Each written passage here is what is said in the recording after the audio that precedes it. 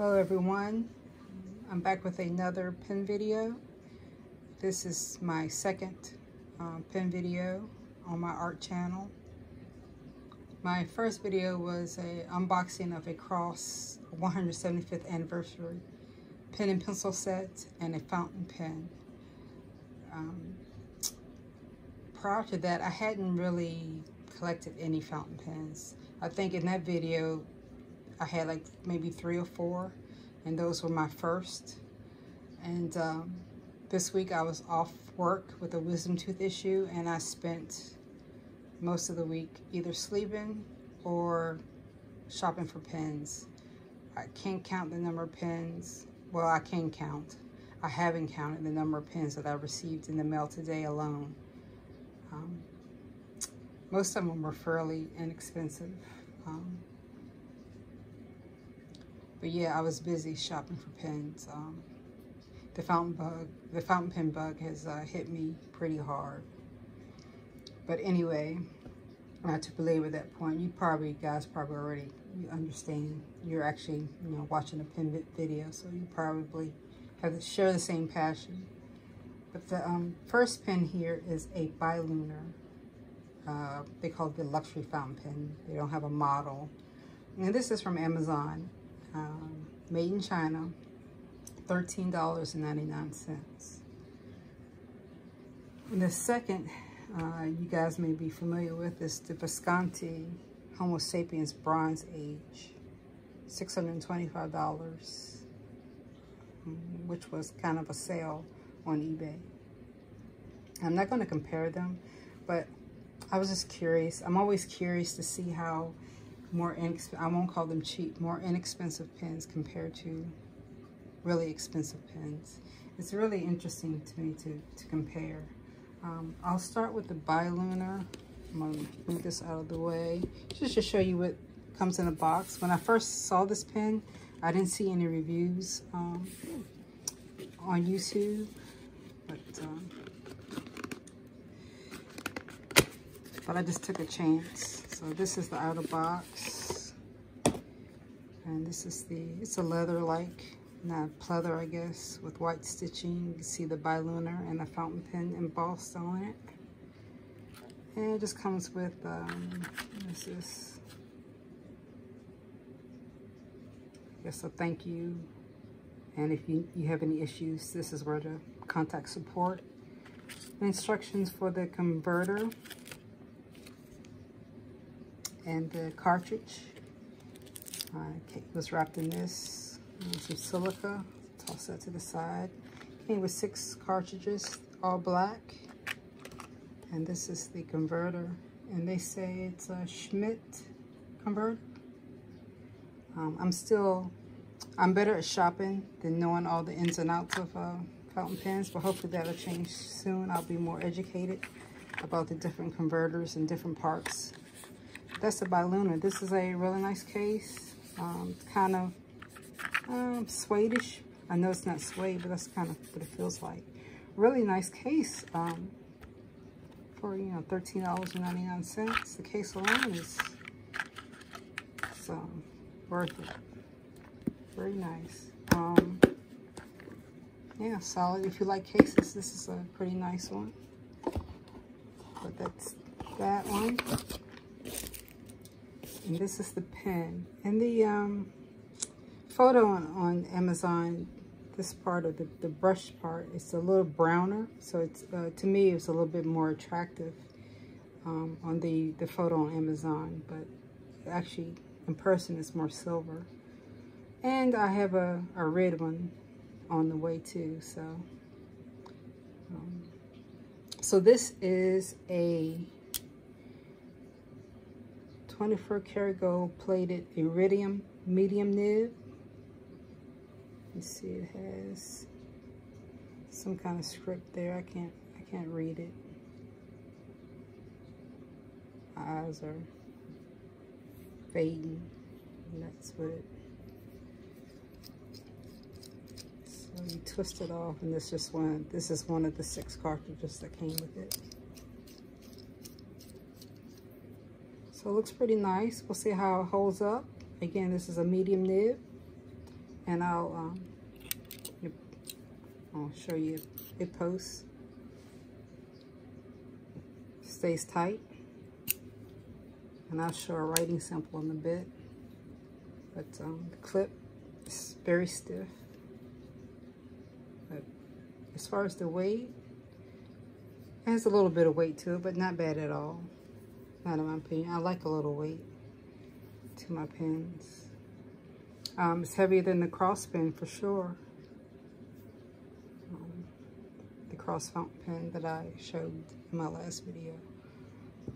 But that's the Beiluner Luxury fountain pen. And most of you probably know this one, are familiar with this one, the Visconti. Um, it's probably 3 a.m. I am high on Advil PM, you know, suffering with a wisdom tooth, and yeah, I decided to uh, get this. And I knew it was going to be nice, but I had no idea how nice it would be. It's a little different. The colors of these two bands are a little bit, this is a little lighter than this one.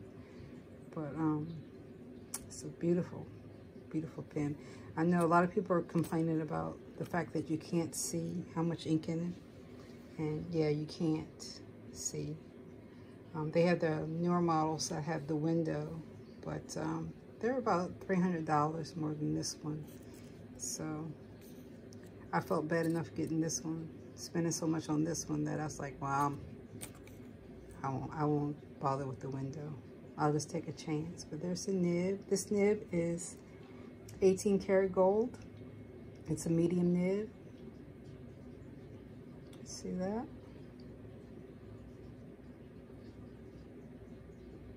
And, uh, you know, I thought it was going to be rougher feeling because in the pictures, it looks very pitted.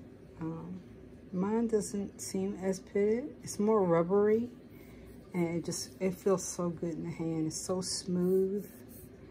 Um, just want to just rub it and hold it, fondle it, fondle it. But it's a beautiful pen. There's the, the V, and there's the clip that's based on the bridge, and you just squeeze it here. But um, I'm sure you've all seen the, the other reviews, so I won't really belabor it, other than it's uh, absolutely gorgeous. One thing, um, I don't really have any complaints. Uh, even, I won't even complain about not being able to see how much ink in it uh, is in it. Um, and this is not, what I'm about to bring up is not really a complaint either. It's just uh, fascinating. For some reason, I sniffed it. And um, yeah, it smells pretty bad. Um, so I'm sure my fingers, well, I have perfume lotion on now, so maybe that'll rub in here and make it smell a little better. But uh, yeah, it was a little, I guess, volcanic ash. Um, probably smells like that or something like that. Volcanic ash and resin. But uh, yeah, the smell was a little off-putting. But man, it's so smooth. I can't believe how good this feels. But anyway, I'm to um, not compare, but I'm just to show you how both of these pens write. And um, one thing unique I wanted to kind of bring to my, my channel is the, I write with both of my hands. So I wanted to give you guys kind of a feel for how these pens write both um, left-handed and right-handed, as well as maybe if you're going to do some art, um, how that comes across with the pen as well. So I'm going to take a seat and just write a little bit. I'm going to start with my left hand. So this is the Visconti, the Homo sapiens.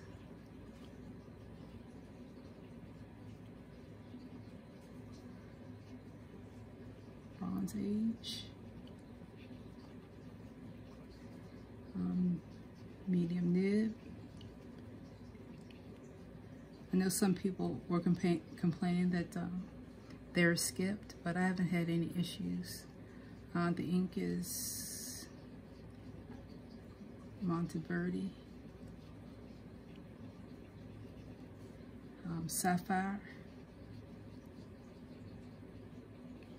is from their gems collection. And this is 625 um, eBay. So that's how it writes uh, on your, on, with your left hand, if you're left-handed. Um, I don't think it's going to be much different with the right.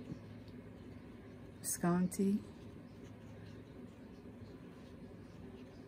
I think I'm putting a little bit more pressure down with my right hand. Um, so maybe coming across a little, a little darker, I'm not sure.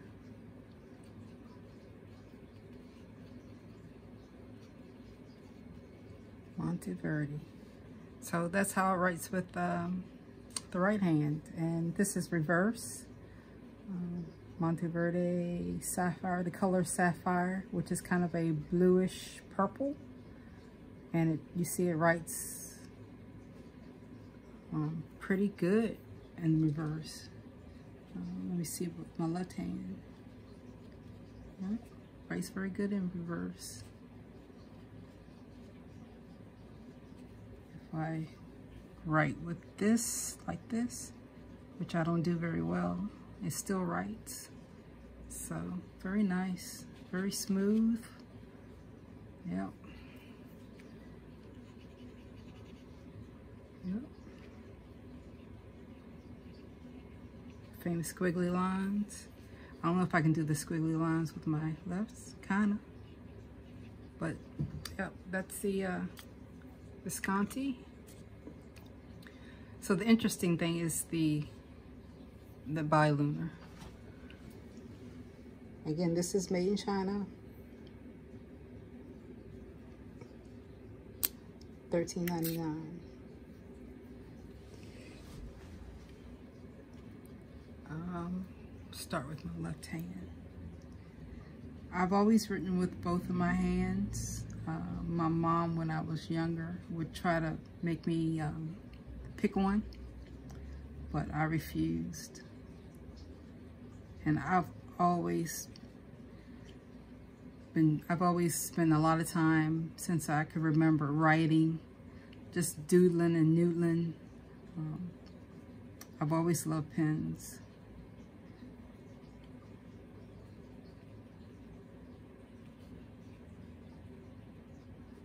I put luxury fountain pen in quotes.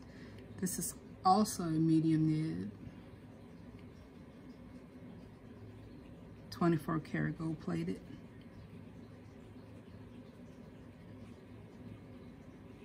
Iridium. And the ink is the, the cartridge, the included cartridge. I didn't even use the, um, the converter. So you can see that this is very smooth for, um, you know, $13.99. $13.99. So I'm very impressed with this. I also have, um, I think I mentioned in my last video, I have a few Hongdians. I think I've bought every Hongdian I could find. Um, I love those those pens, as well as a Scriv Scrivener. Um, they're also from Amazon, and they write very nicely as well. But this one is uh, probably one of the smoothest inexpensive pens.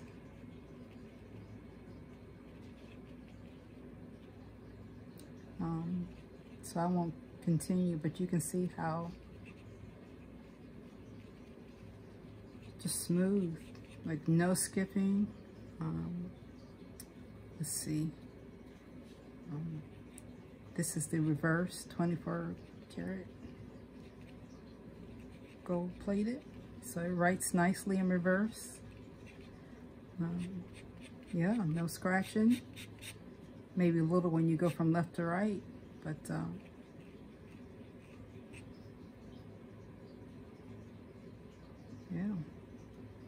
So yeah, that's the Beiluner. I'm very impressed with uh,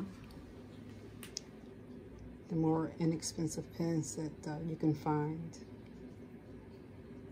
But um, yeah, 625 13.99. Um, uh, these are about,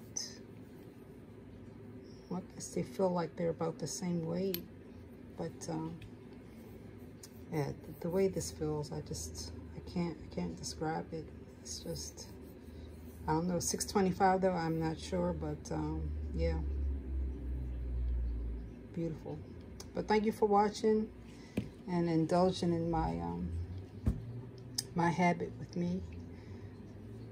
I I don't know how many pens I got today, but I probably have enough for a month's worth of videos probably. So um, I'll be back. Um, hopefully I'll get a little better at this and learn more about fountain pens. And um, yeah, in this case, it's half filled, almost half filled already. So uh, yeah, thank you for watching and I uh, hope you enjoyed this video. Hope it was helpful. Take care.